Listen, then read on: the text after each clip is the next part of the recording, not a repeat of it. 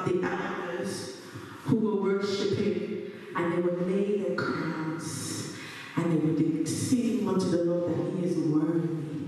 Amen. And as we sing, we join the host of heaven and worship, and we honor our Lord Most High in the name of Jesus. Oh,